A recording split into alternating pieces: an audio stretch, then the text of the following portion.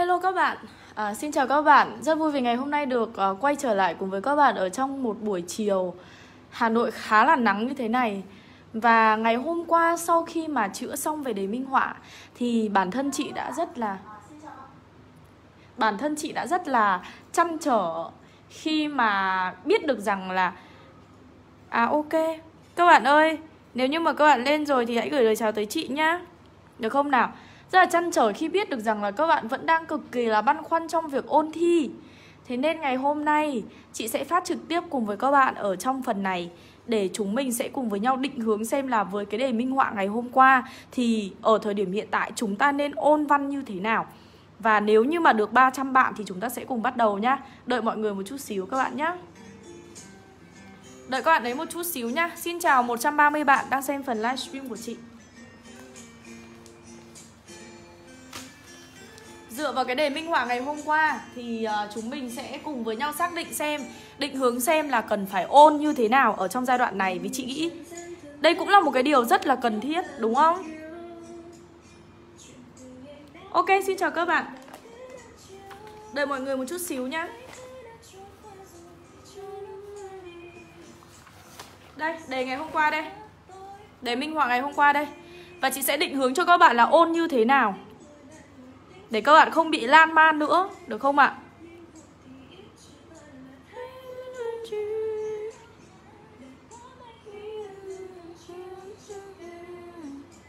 À, xin chào 230 bạn Còn 70 bạn nữa thì chúng ta sẽ cùng bắt đầu luôn nhé Các bạn nhé Lấy cho chị một tờ giấy với một Em ơi Lấy cho chị một tờ giấy.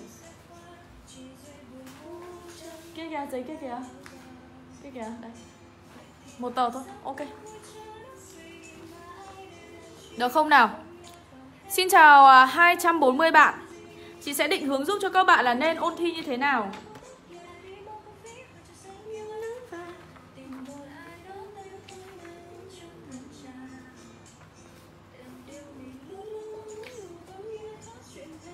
Ok chưa?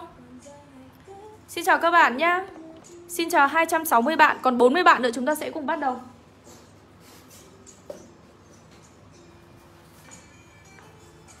40 bạn nữa chúng ta sẽ cùng bắt đầu nhá.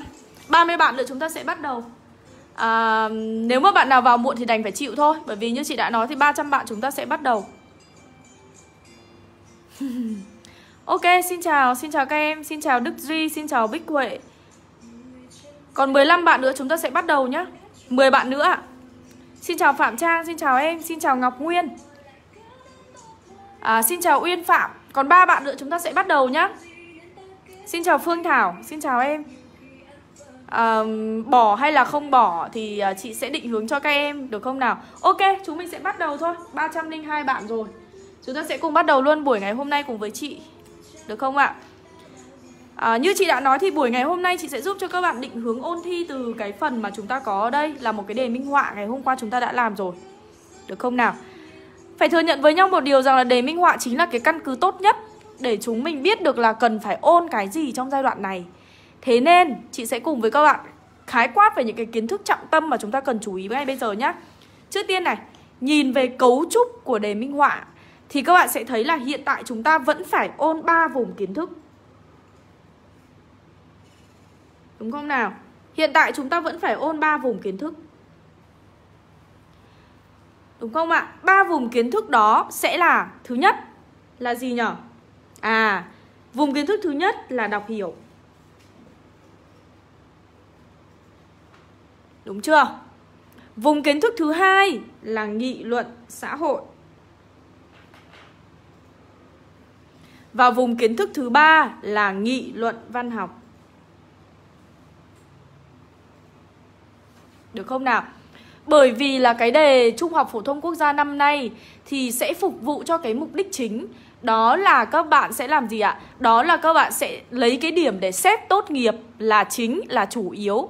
Vậy nên là chúng ta cũng có thể nhìn thấy là đề không gây quá nhiều khó khăn đối với chúng ta nếu như mà các bạn đã học đầy đủ kiến thức đầy đủ kiến thức nền, đầy đủ phương pháp thì sẽ không gây ra quá nhiều những cái thách thức cho các bạn, đúng không?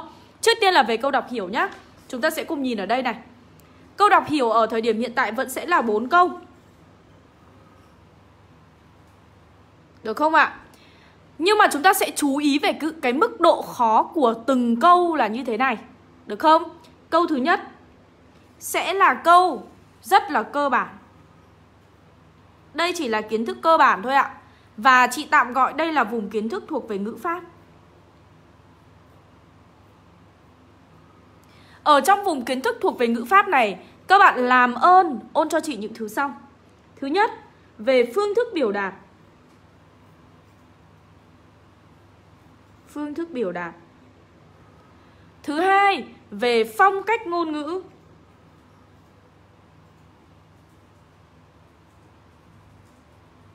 Được không ạ?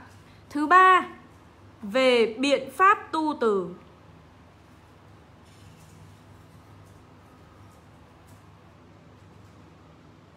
Thứ tư, về thao tác lập luận. Thứ năm, về phép liên kết.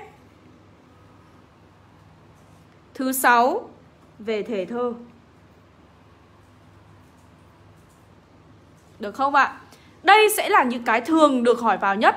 Nhưng mà nếu mà để nói để nếu mà thường nếu mà nói là chúng ta sẽ phải ôn cái gì trọng tâm hơn thì chị nghĩ là sẽ là cái này Phương thức biểu đạt, phong cách ngôn ngữ và thể thơ có nghĩa là cái văn bản này nó sẽ cho các bạn dưới hai dạng khác nhau Có thể là văn xuôi hoặc có thể là thơ Ok không ạ? Mà nếu như mà vào thì thường người ta sẽ hỏi vào những cái này Và câu số 1 này sẽ chiếm 0,5 điểm Thường là như vậy Ok chưa? Vậy thì một cái lời khuyên dành cho các bạn Không có cách nào khác Ngoài việc là các bạn phải tập trung ôn để chúng ta biết được cái khái niệm Chúng ta biết được những cái dấu hiệu nhận biết để chúng ta làm cái bài này không bị mất điểm. Được không nào? Nhá, đấy là cái đầu tiên, câu hỏi đầu tiên.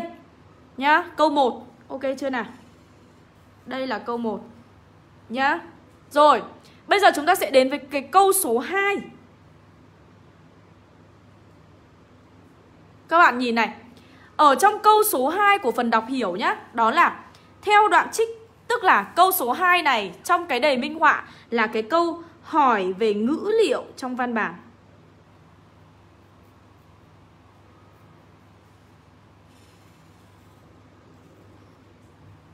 Có nghĩa là gì? Có nghĩa là đây đã là chuyển sang cái phần kiến thức về thông hiểu rồi. Các bạn sẽ dựa vào cái ngữ liệu của văn bản để các bạn trả lời cho cái câu này. Đúng không ạ? Và việc của chúng mình là phải tìm Đúng không? Và tìm ở đây là tìm cái gì nhỉ các bạn nhỉ? À tìm những cái từ khóa ở trong câu hỏi Để chúng ta có thể tìm ra được cái ngữ liệu cần thiết đưa vào câu trả lời của mình Ok chưa ạ? Vậy thì mức độ khó đã tăng dần lên rồi đấy Đúng chưa? Rồi, câu số 3 Mức độ khó tiếp tục tăng dần và thường thì câu này sẽ được 0,5 điểm. Ok chưa nào? Câu số 3 mức độ khó tiếp tục tăng dần. Bây giờ không chỉ đơn thuần là một câu hỏi về ngữ liệu trong văn bản nữa Mà đó là câu Vẫn là hỏi về ngữ liệu trong văn bản. Hỏi về tư duy Ngữ liệu trong văn bản. Có nghĩa là Chúng ta vừa phải tìm ra được cái ngữ liệu phù hợp Và chúng ta vừa phải tư duy để đưa ra được cái câu trả lời đúng. Các bạn cứ bỏ đề minh họa ra mà xem. Ok không? Thì chúng ta thấy rằng là cái mức độ khó đã tiếp tục lên thêm một chút nữa rồi. Vậy thì làm như thế nào để chúng ta có thể tư duy được những cái vấn đề này? Lời khuyên dành cho các bạn để có thể làm được cái câu số 3 Đó là bên cạnh việc làm nhiều bài tập, đọc hiểu để luyện tập này thì chúng ta còn phải không ngừng đọc nhiều những cái văn bản để trau dồi.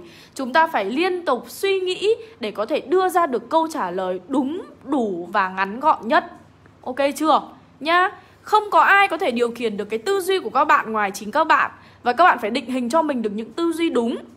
Được không nào? Những cái khía cạnh, những cái quan điểm đúng Chứ không phải là đi ngược lại với pháp luật Đi ngược lại với thuần phong mỹ tục Đi ngược lại với truyền thống của dân tộc Việt Nam được không nào? Đấy là những cái mà các bạn phải lưu ý Rõ ràng nó sai rành rành mà các bạn vẫn cứ cho là đúng Là như vậy là các bạn đang quá cố chấp Và tất nhiên là với những tư duy như vậy Thì tất nhiên là sẽ không có một số điểm nào dành cho các bạn cả rồi Ok chưa?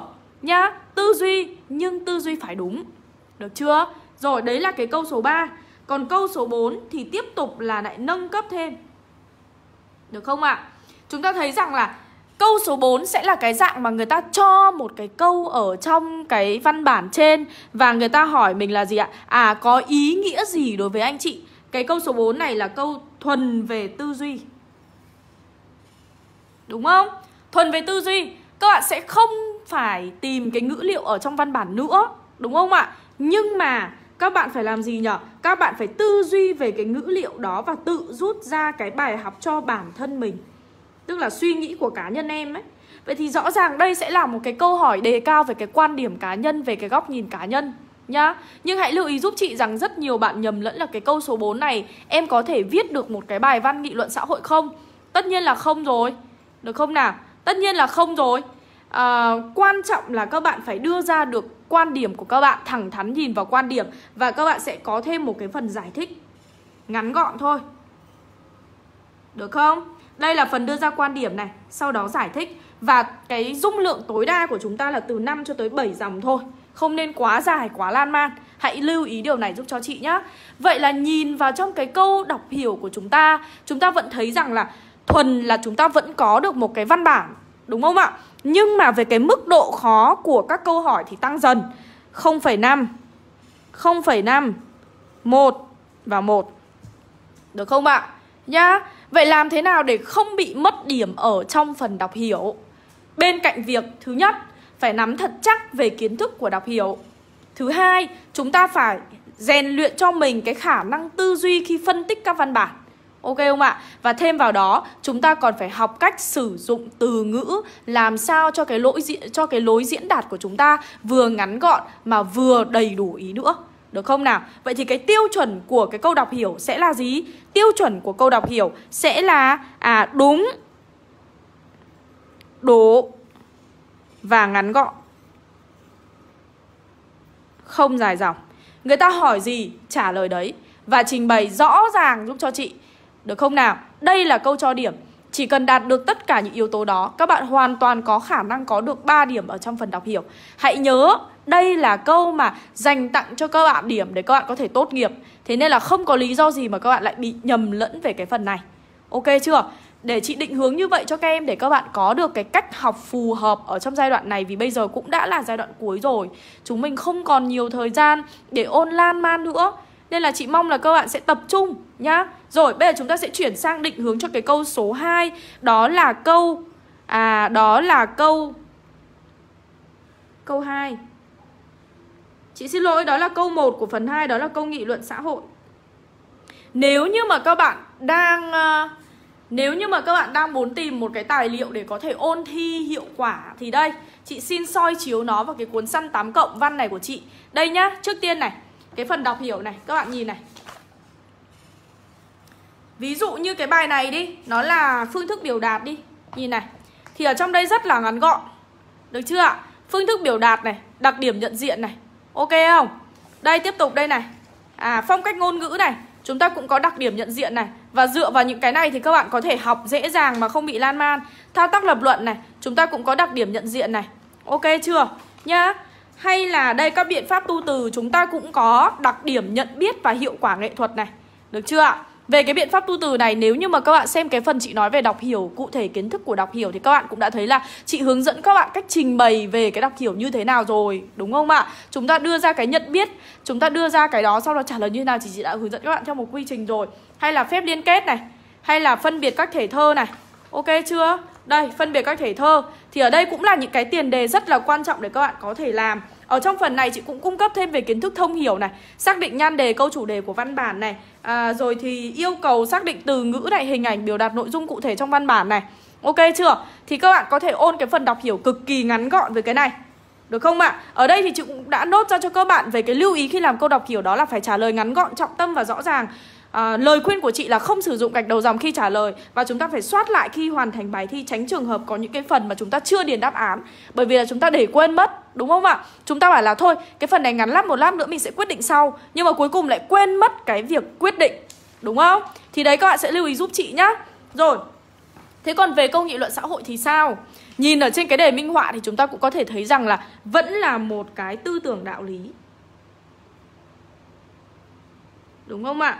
Vẫn là một cái thông điệp mà khuyên những người trẻ chúng ta có ý nghĩa với người trẻ chúng ta phải sống tốt hơn, sống đẹp hơn, phải ưu tú hơn, đúng không? Vậy thì mình sẽ cần phải chuẩn bị cho mình những cái gì đây? À, mình sẽ cần phải chuẩn bị cho mình thứ nhất là quan điểm vững vàng. Ba cái yếu tố quan trọng nhất trong bài nghị luận xã hội.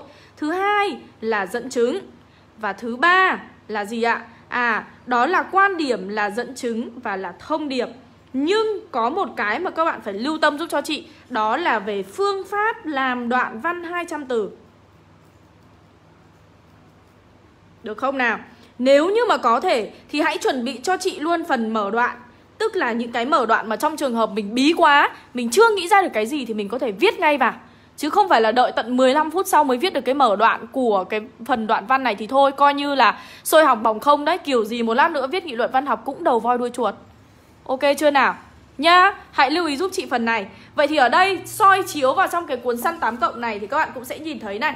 Trước tiên là chúng ta có đầy đủ hết tất cả mọi thứ. Thứ nhất đó là về phương pháp. Ở đây chị đã vạch ra rất là kỹ rồi này. Được chưa? Đây, về công thức này. Và thêm một cái nữa rất là hay Mà chị cũng muốn giới thiệu với các bạn. À, Có thể là các bạn chưa biết cái phần này Nhưng đây là một cái phần cực kỳ là hay Mà chị nghĩ là khó có thể tìm được Ở một cái cuốn sách nào khác. Mà rất là cần thiết cho các bạn đấy. Đây, chị đợi chị một chút xíu. Chính là phần này các em ạ. Đợi chị một chút xíu nhá. Đây. Đây các bạn biết là phần gì không? Chính xác ạ. Đây là phần dẫn chứng. Ok không? Kiến thức bổ trợ này Dẫn chứng và chị nốt ra luôn những cái chủ đề áp dụng. Ví dụ như năm nay này Đang rất là hot về mùa dịch Covid. Và chị đưa ra rất là nhiều những cái thông tin Được tổng hợp từ những nguồn tin khác nhau vào đây. Để cho các bạn có thể vận dụng những cái này vào bài viết của mình. Rồi thì à rồi thì là những cái về những con người anh hùng này ví dụ như là đây lê thanh thúy này hay là uh, nguyễn công hùng hay là đặng trần thủy tiên này hay là khang a tủa này. Đấy thì đây là những cái mà các bạn có thể các em có thể đưa ra cái dẫn chứng phù hợp được. Thì lời khuyên dành lời khuyên của chị dành cho các bạn khi mà làm cái bài này quan trọng nhất là các bạn phải có quan điểm phải có dẫn chứng và phải có thông điệp và phải có phương pháp làm cái đoạn văn 200 từ. Và nhìn nhận thì chúng ta vẫn thấy rằng năm nay dạng đề vẫn sẽ vào vẫn có khả năng cao là sẽ vào gì ạ? À là sẽ vào một cái tư tưởng đạo lý giúp cho người trẻ có ý thức với bản thân, có ý thức với trách nhiệm, sống đẹp hơn và sống tốt hơn. Ok chưa? Thì các bạn sẽ ôn theo cái hướng đấy giúp cho chị nhá.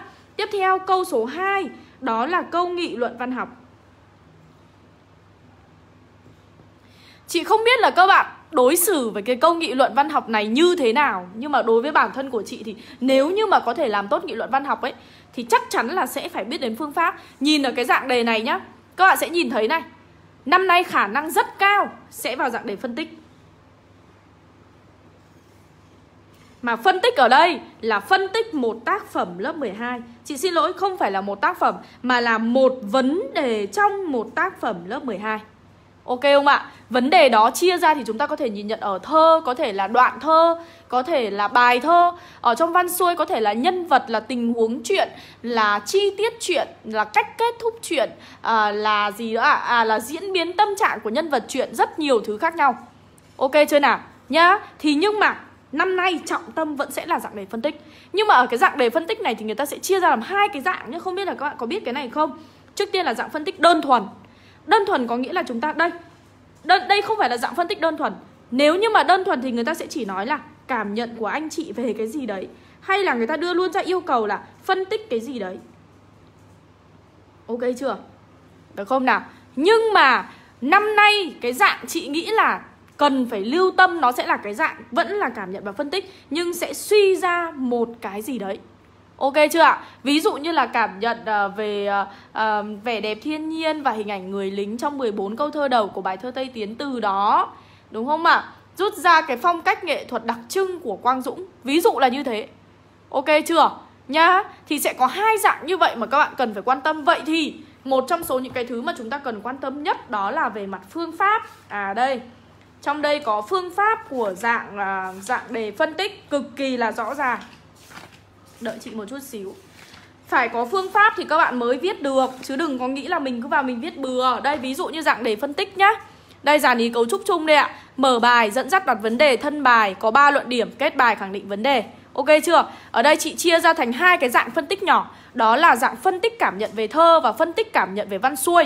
Ok chưa ạ? Chị đưa ra một cái ví dụ ở đây để chị uh, hướng dẫn cho các bạn tỉ mỉ từng cái một luôn này. Thứ trước tiên này Phân tích khổ thơ đầu đúng cái đề mà chúng ta làm luôn này. Đúng không?